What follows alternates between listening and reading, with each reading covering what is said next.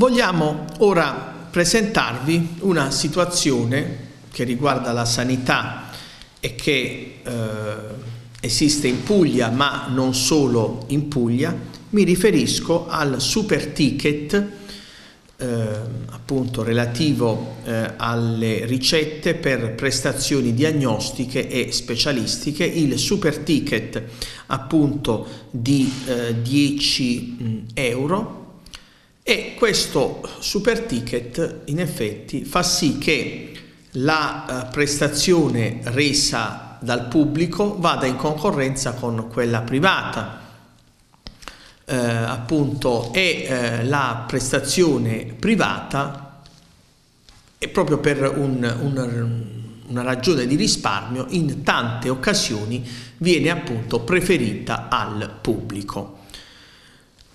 Infatti, quanti di voi, tanti di voi, vi sarete sentiti dire, andando in un laboratorio di analisi, con la ricetta viene 20 euro, senza, dico per dire, senza ricetta viene 23 euro. E allora uno dice a questo punto, se ehm, farlo con il pubblico mi costa più di eh, quanto mi costerebbe fatto con il privato, a questo punto ovviamente per una ragione di economicità io opto per il privato.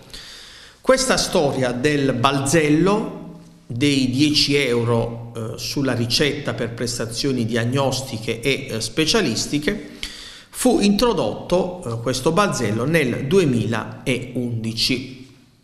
Siamo nel 2017 ed evidentemente purtroppo nulla è cambiato.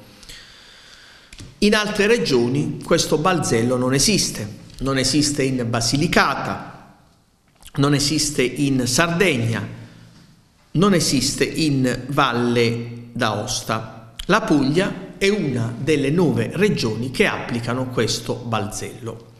Qual è l'assurdità? Ecco, la, la ripeto. Se facciamo un esempio, facciamo un esempio così ci capiamo, io devo fare l'esame del sangue e con la ricetta spendo, spendo tra i 13 e i 20 euro.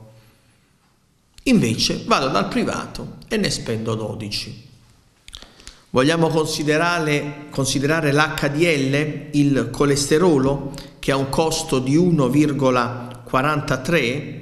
Beh, eh, se praticamente eh, vado in una struttura pubblica o privata convenzionata, pago 12 euro appunto con la ricetta invece senza ricetta vado al eh, di sotto dei 10 euro a questo punto uno dice beh io devo risparmiare vado in una struttura privata mi accerto ovviamente che la struttura privata sia seria e io ci risparmio in buona sostanza con questa storia del balzello si è fatto un regalo ai privati. La sanità pubblica è come se, come dire, se si desse la zappa sui piedi, lei ci perde e il privato ci guadagna. Questo però dobbiamo dire che non riguarda tanto, non riguarda le eh, prestazioni di medio-alta complessità, come nel caso di risonanza magnetica, ecografie o TAC. Per quanto riguarda queste queste indagini strumentali, i prezzi sono più o meno identici. E allora perché la gente va dal privato? Perché il privato gli consente, consente alla gente eh, l'esecuzione della prestazione in tempi brevi, accettabili, non certo con il sistema delle mostruose liste di attesa, di tal che una persona se deve eh, pagare in buona sostanza la stessa cifra ed aspettare quattro mesi per farla in un ASL o in, una struttura convenzionata e viceversa va da un privato e paga pressoché lo stesso, va dal privato. Quindi il privato in questo caso gioca con i tempi.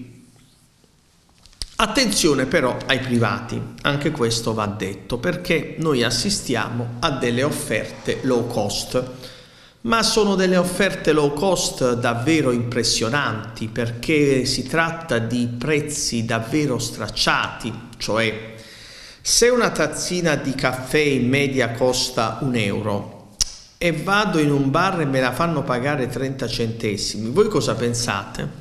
Che o il bar, il, il, il, bar, il, titolare del bar è un benefattore oppure evidentemente quel caffè è una ciofeca. Io propenderei per la seconda ipotesi e infatti vediamo che un, una clinica barese offre un check-up con visita, elettrocardiogramma, analisi del sangue e delle urine a 29 euro, piuttosto che a 180 euro che sarebbe il prezzo, diciamo, eh, medio un laboratorio privato di Barletta propone analisi del sangue, urine e markers tumorali a 46,99 euro.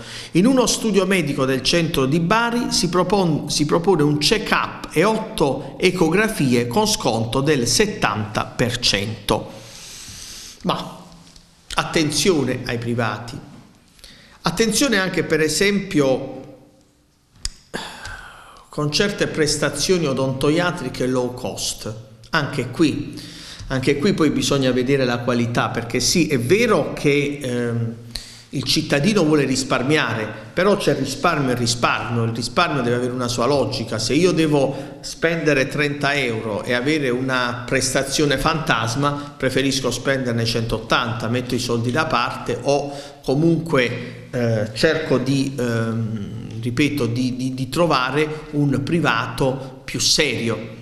Cioè, voglio dire, eh, il, storia, siamo partiti dalla questione del balzello dei 10 euro e abbiamo visto che questo chiaramente favorisce il privato, però anche qui attenzione ai privati, perché poi quando il prezzo diventa troppo stracciato eh, non si tratta più un prezzo di concorrenza, ma si tratta di un prezzo abnorme e allora è proprio il caso di dire che gatta ci cova, nessuno fa regali, ma comunque l'appello è che la regione ci ripensi e tolga questi 10 euro che davvero sono qualcosa di odioso. Stiamo parlando di salute, stiamo parlando di un qualcosa, di un diritto sancito dal diritto naturale, dico io, prima ancora che da quello statuito, da quello oppositum, come si diceva nel diritto della filosofia.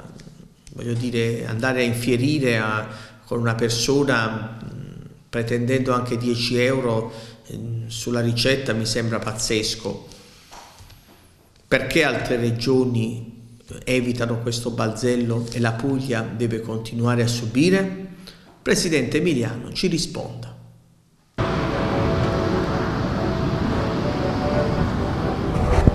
Senza bavaglio, informazione libera, sempre.